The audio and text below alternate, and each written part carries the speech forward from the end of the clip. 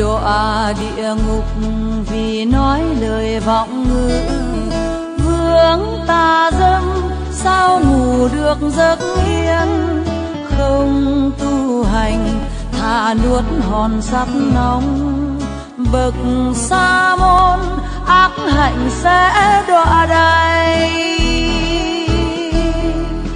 ôm tà kiến là tự xây địa ngục. Xa đường lành sao chứng quả vô sanh tạo thiện nghiệp là con đường chân chánh là nguyện thứ 12 ngã tác phật thời sở hữu chúng sanh sanh ngã quốc giả viễn ly phân biệt chư căn tịch tỉnh nhược bất quyết định thành đẳng chánh giác chứng đại niết bàn giả bất thụ chánh giác. Mấy năm trước tôi đã giảng qua một nguyện này. Đây là giấy bảo đảm của a di a di đà phật cho những người niệm phật chúng ta. Một nguyện này là bảo đảm cho quý vị thành phật. Quý vị thấy, pháp môn này vô cùng thù thắng, thật là không thể nghĩ bằng gọi nguyện này là định thành chánh giác thật tại mà nói, chúng ta không được thành chánh giác là vì chúng ta không chịu buông bỏ vọng tưởng phân biệt chấp trước. Ở chỗ này, a di đà phật dạy cho chúng ta xa lìa phân biệt các căn thanh tịnh.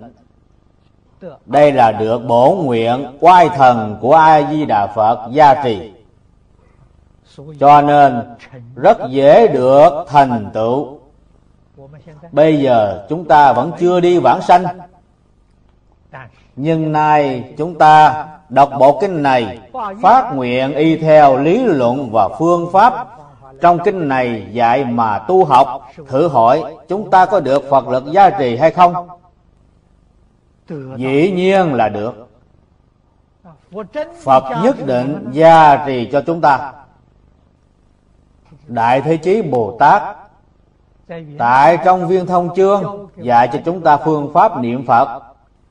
Điều nhiếp lục căn, tịnh niệm tương kế.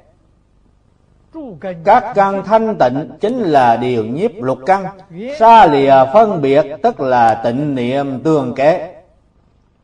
Phật bồ tát đem diệu pháp này truyền cho chúng ta. Nhưng chúng ta không tiếp nhận, không chịu đón lấy còn người thượng căn và người có duyên, họ nghe rồi thì lập tức tiếp nhận mà y giáo phụng hành. Không cần nói, đợi đến khi vãng sanh tây phương cờ lạc thế giới rồi mới xa lìa phân biệt. Họ hiện tại thì xa lìa. Nên các căn được thanh tịnh không những xa lìa phân biệt, cũng xa lìa vọng tưởng, cũng xa lìa chấp trước. Họ trong vọng tưởng phân biệt chấp trước lại dùng phân biệt phân biệt xa lìa, thấy điều xa lìa hết. Dùng cách tu này rất có lý. Nếu chúng ta có thể xa lìa tất cả tâm phân biệt, thì thiên hạ sẽ thái bình không phân biệt, không chấp trước, không hoài nghi. Thì trên đường bồ đề, thuận buồn xuôi gió. Vì sao quý vị không thể chung sống cùng với người ta? Bởi vì có tâm phân biệt. Do phân biệt thì nói vậy chấp trước. Vì chấp trước nên không thể hòa thuận. Thì xảy ra đấu tranh. Đấu tranh thì tạo tội nghiệp tội nghiệp, chiêu cảm thì là tam đồ khổ báo, đó là tự làm, tự chịu. Nên dùng, nếu dùng tâm thanh tịnh đối xử với người khác, thì quý vị không có tâm phân biệt, cũng không có vọng tưởng, cũng không có chấp trước. Đại sư huệ năng tại trong đàn kinh có nói, nếu người chân tu hành, không thấy lỗi thế gian, tức là cái ý nghĩa này tất cả chúng sanh có lỗi lầm hay không? Không có. Đích thật không có lỗi lầm. Nếu quý vị cho rằng họ có lỗi lầm, thì quý vị đã nghĩ sai, đã nhìn sai. Cho nên quý vị phải có trí huệ để xem xét họ làm gì có lỗi lầm. Những hành vi của họ không phải thuận theo pháp tánh, thì thuận theo phiền não pháp tánh và phiền não là một. Không phải hai, chúng ta thường đọc trong kinh, phiền não tức bồ đề bồ đề tức phiền não. Một niệm giác thì phiền não là bồ đề. Một niệm mê thì bồ đề thành phiền não. Họ là giác hay mê là thị hiện cho chúng ta thấy. Là giúp cho chúng ta để thành tựu cho chúng ta. Họ làm gì có lỗi lầm?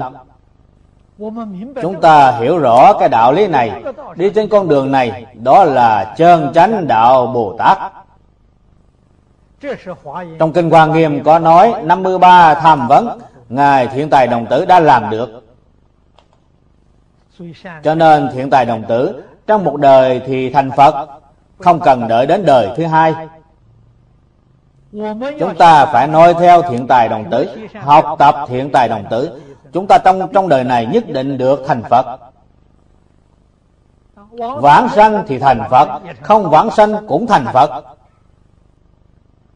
Những lời tôi nói đây hoàn toàn là sự thật. Cho nên bây giờ chúng ta phải làm là xa lìa phân biệt các căn thanh tịnh. Ở chỗ này, phật dạy cho chúng ta thì chúng ta phải thật sự làm ngày nay chúng ta sở dĩ không được thành tựu dù là đã đọc kinh và đã nghe giảng kinh. Tuy đã nghe giảng kinh nhưng không có chú tâm nghe giảng thì không có cách nào. Chúng ta đọc kinh và nghe giảng kinh. Nếu mà rất chú tâm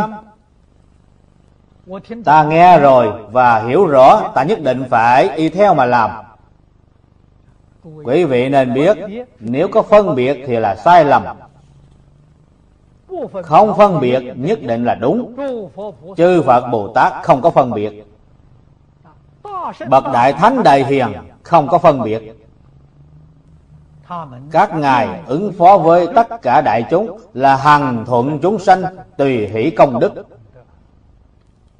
Hằng thuận là gì? Là thuận chúng sanh phân biệt mà phân biệt tự mình không có phân biệt. Thuận chúng sanh chấp trước mà chấp trước, nhưng tự mình không có chấp trước. Cho nên hành bồ tát đạo mới có thể viên mãn. Này khuyết khuyết điểm của chúng ta ở tại đâu? Khuyết điểm của chúng ta là có phân biệt, có chấp trước. Đây là điều rất phiền phức.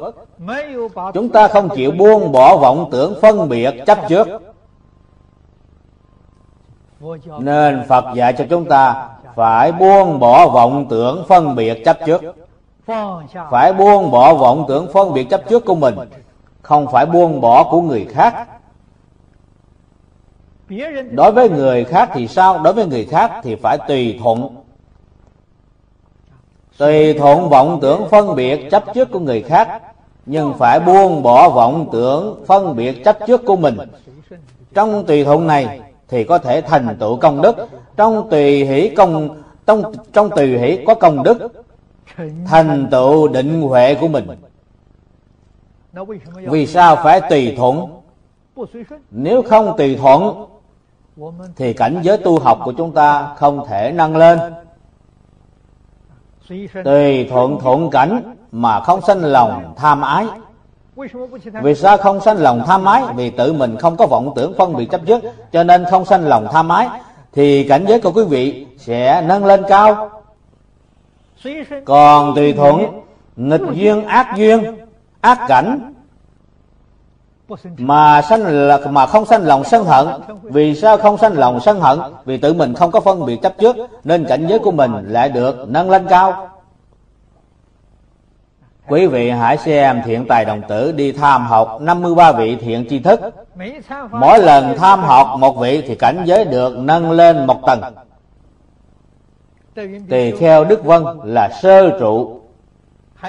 Tỳ kheo Hải Vân là nhị trụ. Tỳ kheo diệu trụ là tam trụ. Thiện tài đồng tử đến tham học một vị thì cảnh giới của mình được nâng lên một bậc vì tham học đủ 53 vị thì ngài viên mãn thành phật. Đây gọi là tinh tấn. Ngày nay chúng ta tu học mỗi ngày cảnh giới của mình không thể nâng lên. Cái nguyên nhân này ở tại đâu?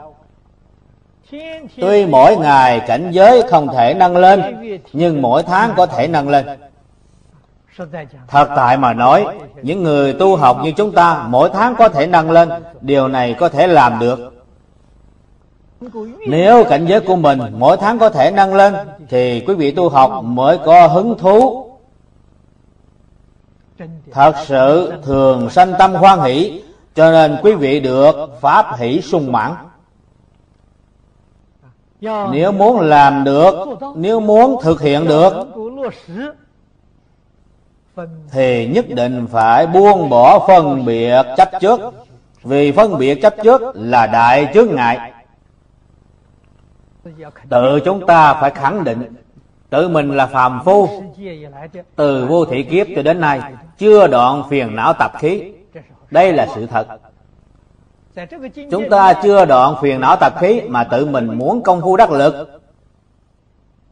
Chỉ có một phương pháp là phải y giáo phụng hành phật bảo chúng ta buông bỏ buông bỏ không được, cũng phải buông bỏ. Đây là phương pháp khắc phục phiền não tập khí của mình. Thì gọi là chân tu. Nếu vẫn còn thuận theo phiền não tạp khí của mình, thì công phu của quý vị không được đắc lực, thì công phu của quý vị sẽ không tiến bộ. Chẳng những không có tiến bộ mà còn thụt lùi cho nên nếu muốn công phu tiến bộ, thì phải khắc phục phiền não tập khí của mình. Quý vị phải xả bỏ sự ham muốn, phải xả bỏ lòng tham ái. Quý vị ưa thích những thứ nào, thì phải xả bỏ những thứ đó. Người học phật ưa thích tượng phật, cũng phải xả bỏ tượng phật. Tại vì sao? Vì nhìn thấy tượng phật thì sanh lòng tham có rất nhiều người thờ tượng phật, họ quý như đồ cổ. Cho đó là bảo vật. Họ đã sanh lòng tham. Họ nghĩ rằng tượng phật là bảo vật, giá trị rất cao. Thậm chí như có người đến đạo tràng của họ, để thăm viếng họ, thì họ liền đem những tượng phật đó cất giấu đi, không cho người khác xem chỉ có những người bạn tốt mới đem ra cho họ xem và cho biết tượng phật này là thời đại nào, đã có mấy ngàn năm, mấy trăm năm. Những bảo vật đó mà đem cho tôi xem tôi xem rồi cũng chỉ gật đầu. Họ có được thành tựu hay không? Không bao giờ có thành tựu. Tương lai họ chết rồi sẽ đi đâu? Họ chết rồi sẽ đi vào trong tượng phật. Vì trong tượng phật trống rỗng, chuột sẽ làm ổ trong đó tương lai họ sẽ ở trong đó. Nếu tượng phật là bằng làm bằng cây trong cây có một họ sẽ biến thành con một tại vì sao? Vì lòng tham ái không buông bỏ được. Nếu ưa thích kinh phật thì trong kinh phật cũng có con một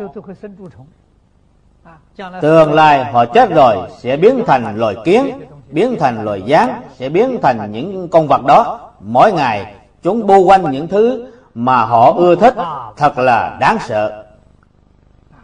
Cho nên nếu không đoạn trừ lòng ham muốn, thì sẽ gặp phải họa hại vô cùng phiền phức. Quý vị phải giác ngộ. Buông bỏ hết tất cả, thì tâm của quý vị mới được thanh tịnh, an lạc. Mới được sung mãn trí huệ. Lục tổ huệ năng có nói, thường sanh trí huệ có thanh tịnh an lạc thì thường sanh trí huệ. Nếu tâm của quý vị không thanh tịnh, không an lạc thì thường sanh phiền não. Quý vị làm sao có thể thường sanh trí huệ? Đây là chỗ then chốt của đoạn kinh văn này, tức là xa lìa phân biệt các căn thanh tịnh. Bây giờ thì phải học tập. Tuyệt đối không nên nghĩ rằng ở tây phương cực lạc, thế giới dễ tu, sanh đến nơi đó thì mới xa lìa phân biệt các căn thanh tịnh. Nhưng nếu không thể đi đến tây phương cực lạc thế giới, tức không được vãng sanh. Như vậy thì đã hoài công. Hiện tại bây giờ, quý vị phải toàn tâm toàn lực mà tu học. Tu học được một phần thì có một phần thọ dụng, tu học được hai phần thì có hai phần thọ dụng cái gì gọi là thọ dụng, nghĩa là sanh đến tây phương cực lạc thế giới, thì phẩm vị khác nhau. Quý vị tu học được rất khá, thì quý vị sẽ sẽ vãng sanh được phẩm vị rất cao. Nếu quý vị hoàn toàn không tu học, phật cũng rất từ bi. Muốn tiếp dẫn quý vị vãng sanh, nhưng quý vị không có chỗ ngồi ở tây phương cực lạc thế giới, hạ hạ phẩm vị cũng không có quý vị vẫn uh, quý vị vẫn là hoài công. Quý vị tu học được một phần tuy là một phần cũng được hạ phẩm hạ sanh cũng có một chỗ ngồi. Không thể không tu học gì cả. Mọi người đều suy nghĩ như nhau cõi này và cõi khác có lẽ cũng như nhau. Cho nên chúng ta phải biết những nhân tình thế thái. Không thể không làm gì hết. Chúng ta phải nên cố phải nên hăng hái hết lòng nỗ lực mà tu học mới có thể tranh lấy một phẩm vị tốt. Hoa đẹp nhất là hoa có sắc, lại tỏa hương tinh khiết thanh cao. Hương thơm nhất là hương đức hạnh, gắng làm lành, nói những điều lành. Hoa đẹp nhất là hoa giới hạnh ngạt ngào hương công đức tu hành, như đóa sen chẳng vướng buồn tanh. Bậc tịnh hạnh thoát vòng từ xanh. Bậc hữu